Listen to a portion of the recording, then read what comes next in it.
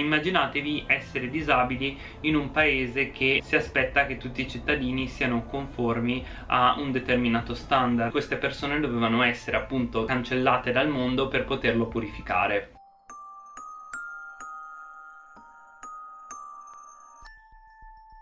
Ciao ragazzi e benvenuti su questo nuovo video, un nuovo video True Crime. La storia di oggi è veramente veramente scioccante, triste e la collegherò anche a un video che farò sulla cultura giapponese e il modo in cui spesso vengono trattati le persone disabili in Giappone perché è una questione estremamente importante che non va presa alla leggera e che forse proprio il modo in cui queste persone sono trattate può essere stata una delle cause che ha portato a questo episodio veramente tragico. Il caso di cui andremo a parlare oggi è quello di Satoshi Uematsu. Questo uomo ha strappato la vita a 19 vittime e ne ha ferite molte altre. Le ragioni appunto che hanno portato a questo caso possono forse essere ritrovate come vi dicevo nella storia del Giappone e io spero davvero che questo caso per quanto terribile possa portare dei cambiamenti e sensibilizzare le persone su determinati argomenti. Per poter parlare al meglio di questo caso devo fare un piccolo eh, diciamo resoconto del contesto che tratterò in modo un po' veloce su questo canale perché il focus di questo video sarà questo caso criminale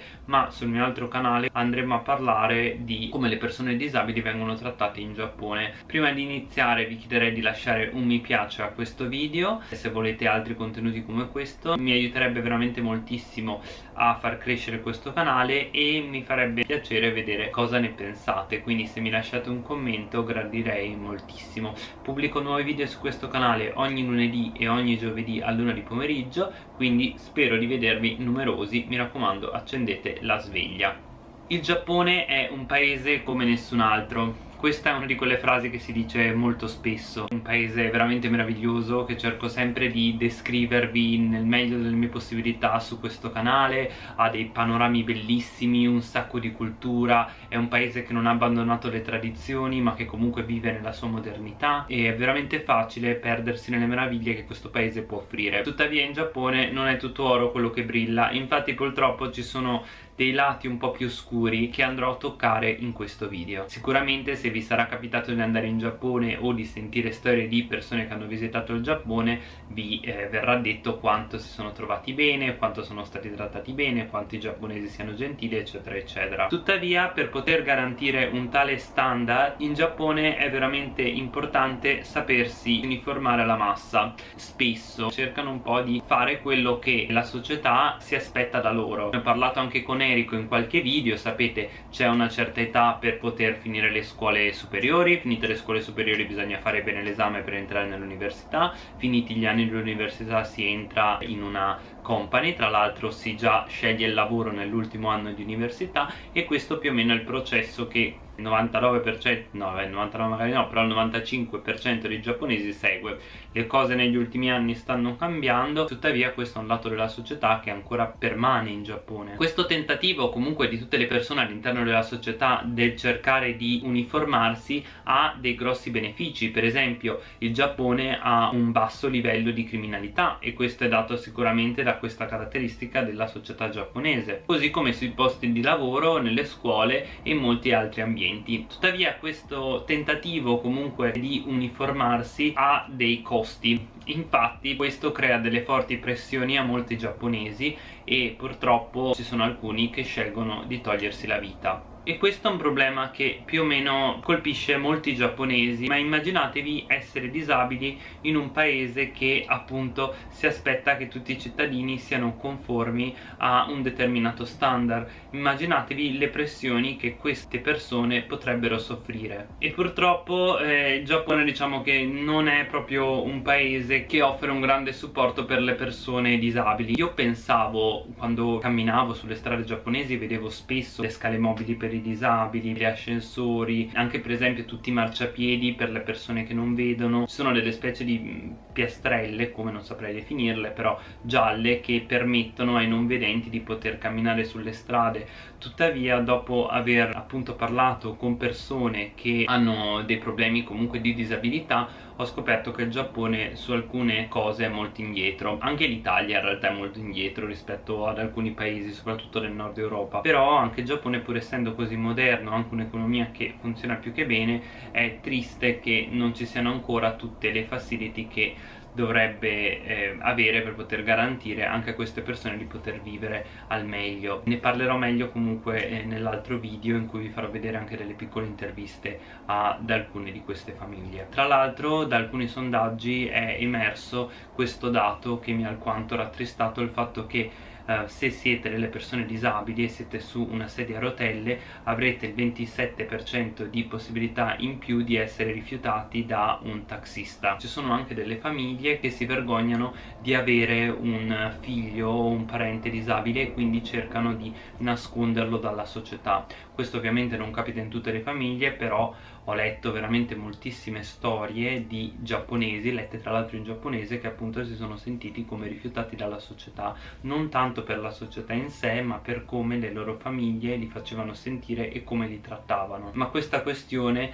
risale a molto tempo prima della seconda guerra mondiale. C'era questo tentativo del governo di, virgolette, purificare il Giappone e per poterlo purificare praticamente ha scelto di sterilizzare 25.000 16.000 disabili, 16.000 di loro contro la loro volontà. Questa legge è andata avanti in realtà fino al 1996, anche se la maggior parte delle persone che è stata sterilizzata è stata sterilizzata nel primo decennio di questa legge. E potete capire come comunque questa legge abbia contribuito a potenziare magari possibili comportamenti discriminatori. E questo ci porta alla storia di oggi, successa nella città di Sagamihara a 40 km da Tokyo. Questa città ha una popolazione di 720.000 abitanti e è la terza città più popolosa della prefettura di Kanagawa. È proprio qui che viveva Satoshi Uematsu questo ragazzo qui. È nato il 20 gennaio del 1990. Suo padre era un insegnante delle scuole elementari e insegnava arte mentre la sua madre disegnava dei cartoni. All'età di un anno la sua famiglia si spostò appunto da Tokyo dove era nato questo bambino in quella città a 40 km da Tokyo. Proprio in quella città eh, Satoshi ha fatto le scuole elementari, in seguito si è iscritto alle scuole medie e era famoso diciamo nella sua classe per essere un ragazzo che sapesse intrattenere, sapete un po' il burlone, quello un po' simpatico del gruppo e era anche un grandissimo appassionato di basket. Tuttavia quando iniziò le superiori poterono notare che c'era un piccolo cambiamento nel suo atteggiamento e era diventato un pochino sempre più ribelle. Infatti fu anche scoperto mentre faceva dello shoplifting quindi prendeva delle cose nei negozi senza pagarle. E inoltre era anche stato trovato danneggiare delle proprietà mentre era sotto stato di ebbrezza. In ogni caso il suo comportamento più grave era stato registrato nel 2007 quando sembra che abbia eh, spinto una persona disabile per avere praticamente intranciato la sua strada mentre lui stava andando a scuola. Benché avesse assunto questi comportamenti non ebbe particolari ripercussioni e andò eh, a frequentare poi in seguito l'università. Quello che lui aveva tentato di fare era di diventare anche lui, come suo padre, un insegnante. È stato proprio intorno a questo periodo che i genitori di questo Satoshi tornarono a vivere in un condominio di Tokyo lasciando il ragazzo Satoshi nella vecchia casa che era diventata il suo spazio personale. Ci sono un sacco di speculazioni che dicono che in realtà Satoshi e i suoi genitori continuavano a litigare e per questo motivo i genitori hanno scelto di andare a vivere in un altro appartamento perché non ce la facevano più a rimanere in quella casa e sembra che il momento di rottura di questa relazione tra eh, il genitore e questo figlio sia stato quando eh, si sia fatto questo tatuaggio gigantesco sulla schiena e ragazzi ne ho parlato anche era uno dei miei primi video quando parlavo dei tatuaggi in Giappone sapete che a livello comunque storico i tatuaggi sono visti in un certo modo in Giappone e quindi il fatto di avere un tatuaggio può essere molto problematico perché è associato in qualche modo alla Yakuza. Dovete sapere che eh, questa cosa dei tatuaggi già nel 720 erano considerati una specie di eh, marchio che veniva fatto sui delinquenti. Veniva fatto il tatuaggio di un cane proprio sulla testa di questi criminali. Negli anni a venire, negli anni più recenti questi tatuaggi sono stati adottati sempre di più dalle famiglie di criminali e erano viste come una forma di coraggio e di lealtà rispetto alla loro gang. E anche se l'immagine comunque dei tatuaggi è stata un po' sdoganata negli ultimi anni per molte famiglie specie quelle meno aperte magari a eh, tatuaggi eccetera sono ancora visti come un qualcosa di eh, sbagliato o sporco non so come dire. Però in realtà ci sono anche delle famiglie in Italia che la vedono così. Io mi ricordo che aveva fatto una story Elisa True Crime proprio al riguardo in cui qualcuno le aveva detto di coprirsi il tatuaggio perché non voleva che sua figlia lo vedesse come una cosa normale. Quindi capite cioè è una cosa che sembra così strana per noi italiani ma in realtà eh, anche in Italia ci sono ancora persone che sono un po' bigotte su certi argomenti. Questo Satoshi nel 2012 concluse i suoi studi universitari e cercò, come vi ho detto, di trovare impiego come insegnante delle elementari o almeno come tatuatore, ma fallì nel cercare entrambi questi lavori. In ogni caso riuscì a trovare un lavoro part-time presso questa Tsukui Lily Garden che era questa facility in cui c'erano eh, una serie di persone disabili. E sembra che durante il colloquio di lavoro sia stato assunto dopo che ha detto che eh, lui trovava le persone disabili piuttosto cute. Cioè cute, questa è stata la risposta. Io non l'avrei assunto uno che mi dice così scusa le persone disabili non è che siano cute le persone eh, disabili sono persone come tutte le altre cioè non, boh vabbè. in ogni caso non lo so in che modo l'abbia detto però eh, kawaii lo dice di un animaletto non lo dice di una persona solitamente. Satoshi eh, lavorò duramente e riuscì a essere promosso a eh, tempo indeterminato in quella facility. Era considerato come un lavoratore serio brillante pieno di energia e che aveva una grande carriera davanti a sé. Tuttavia nel corso degli anni il suo atteggiamento iniziò a cambiare. Nel 2014 e nel 2015 fu praticamente scoperto mentre colpiva delle persone disabili e sembra anche che sia stato filmato dalle telecamere di sorveglianza e nel febbraio del 2016 per questi comportamenti è stato licenziato. Purtroppo questa non sarà l'ultima volta che Satoshi farà visita in questa facility. Spostiamoci adesso a Tokyo, al 15 febbraio del 2016, a solo due settimane da quando appunto questo Satoshi era stato licenziato. In quella giornata Satoshi si era recato a Tokyo proprio per poter dare una lettera a questo personaggio politico molto importante che era Taramori Oshima, che era il presidente della Camera dei rappresentanti giapponese. E questa lettera praticamente sarà uno dei più eclatanti segnali di un comportamento estremamente malato di questo Satoshi. Si trattava di una richiesta da parte di Satoshi che chiedeva appunto a questo personaggio politico la legalizzazione di poter porre fine alle persone disabili e che secondo lui queste persone dovevano essere appunto cancellate dal mondo per poterlo purificare. Veramente io quando sento queste cose mi viene di una tristezza che non avete idea e praticamente ha detto che questo avrebbe fatto solamente del bene al mondo e anche all'economia giapponese. E se il mondo sarebbe stato liberato da queste persone si sarebbe potuta evitare una possibile terza guerra mondiale. Comunque in questa lettera c'erano scritte una serie di dettagli su come avrebbe voluto muoversi di lì a poco per poter attaccare queste facility che ospitavano queste persone disabili. C'era tutto un piano bello dettagliato in questa sua lettera. Inoltre ha detto che lui si sarebbe proposto come volontario per poter portare a compimento questa missione di purificare il Giappone o in generale il mondo. Ha detto che lui si sarebbe appunto offerto per recarsi in queste facility e togliere la vita a queste persone e che le persone che lavoravano lì sarebbero state legate in modo che non interferissero ma che tuttavia alle persone che lavoravano in queste facility non sarebbe eh, stato arrecato nessuna ferita o danno. E una volta conclusa la sua missione sarebbe andato alla polizia. Vi leggo adesso eh, la frase con cui lui ha terminato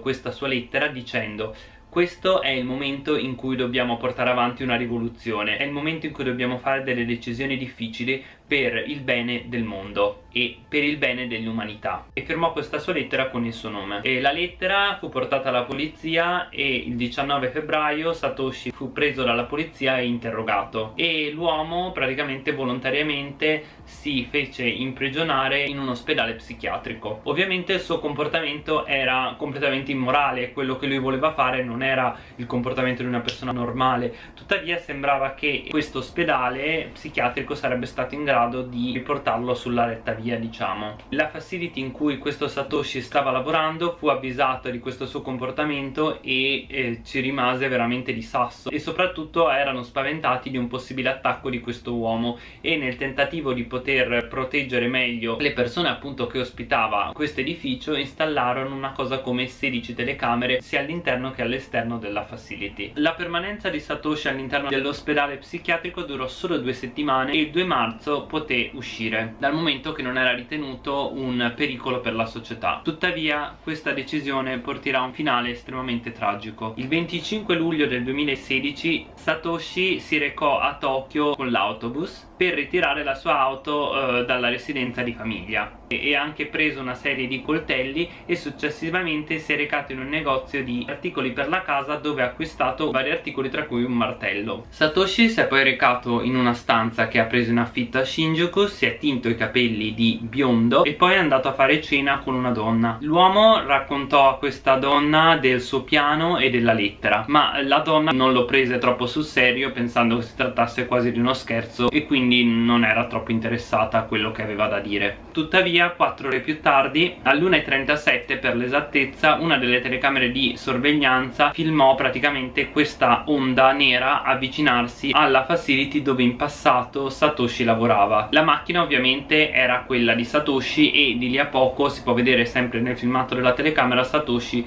uscire dalla vettura. Prese con sé anche dei coltelli e riuscì a penetrare in questo edificio entrando da questa finestra Ovviamente eh, Satoshi aveva lavorato in precedenza lì, quindi sapeva bene come era fatto l'edificio e questo fu un grosso vantaggio per lui per potersi muovere in modo più libero all'interno di questa facility. Infatti riuscì a entrare nell'edificio e passare quasi inosservato. Nessuno infatti aveva sentito nemmeno che quella finestra era stata rotta. Riuscì a catturare uno del personale, lo imbavagliò e legò e gli rubò la chiave. Questa chiave gli avrebbe dato accesso a praticamente praticamente tutte le ale all'interno di questo Lily Garden e quindi poteva muoversi in qualsiasi stanza lui desiderasse. E questo Satoshi iniziò a entrare in tutte le stanze una a una e a accoltellare a morte purtroppo tutte le persone disabili che poteva trovare. Tra l'altro era notte fonda e molti di loro stavano ancora dormendo. Una volta terminato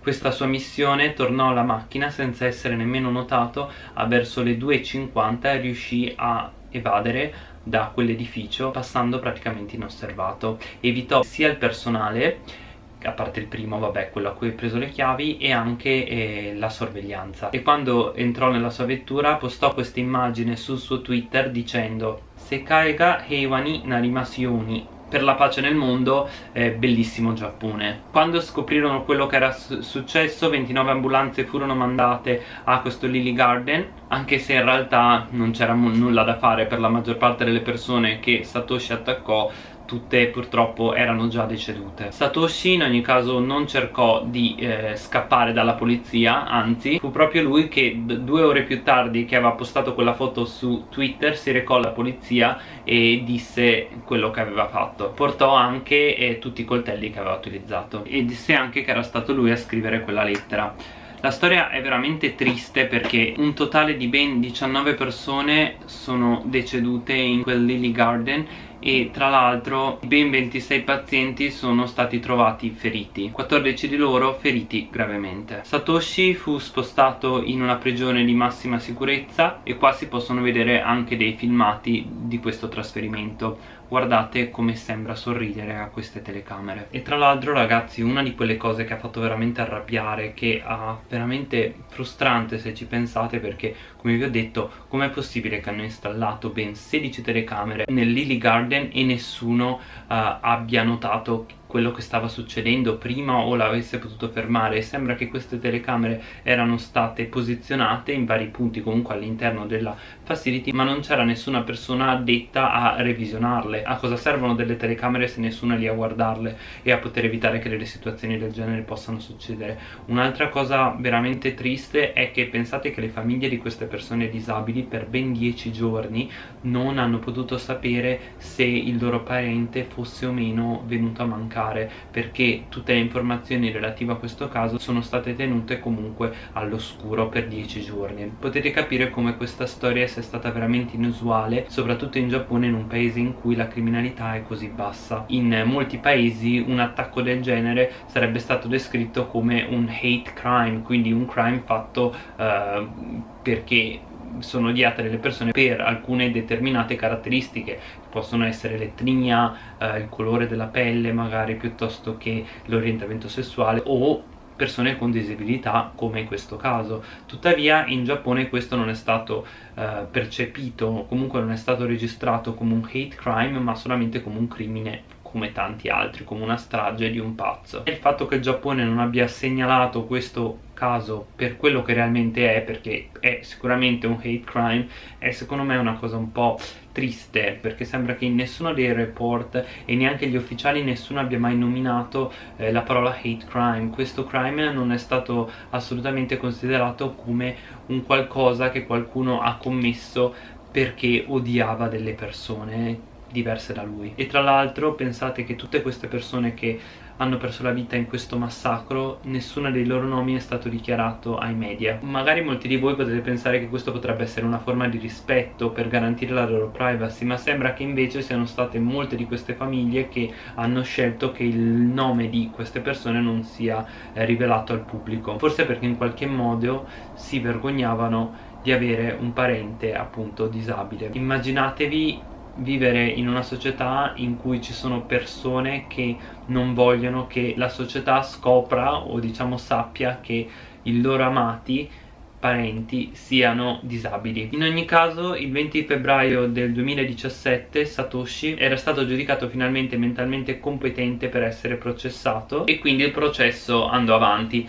Eh, la difesa tentò di eh, dire che in quel momento Satoshi non era mentalmente competente perché era sotto uh, l'effetto della marijuana e quindi questo era il motivo per cui si era comportato in quel modo. Durante il processo sembra che le persone che erano in corte hanno detto che Satoshi non sembrava assolutamente uh, dispiaciuto per quello che aveva compiuto e non sembrava mostrare nessun senso di rimorso benché sembra che lui abbia detto che sia dispiaciuto per le famiglie delle vittime non per le vittime in sé ma per le loro famiglie. E dopo aver chiesto scusa pensate che si è anche morso il dito strappandoselo per mostrare quanto fosse pentito. Non lo so ragazzi non è una persona normale non si comporta in modo normale quindi non chiedetemi perché l'abbia fatto. In ogni caso benché avesse fatto questa azione sembra che non avesse nessun significato. Dal momento che durante il processo lui continuava a dire che secondo lui le persone disabili non avevano alcun diritto alla vita. Dopo veramente un'agonia agonizzante processo lunghissimo finalmente la sentenza fu emessa e è stato considerato comunque colpevole di aver ucciso 19 persone di aver tentato di ucciderne 24 e considerarono le, le sue azioni completamente disumane e fu condannato alla pena di morte dalla corte di Yokohama. In ogni caso in questo momento Satoshi è ancora vivo e in questo momento si trova nel braccio della morte. Nessuno sa quando il giorno arriverà dal momento che comunque anche per via della pandemia questa data è stata rinviata più volte. Mi piacerebbe spendere due parole sulle persone che hanno perso la vita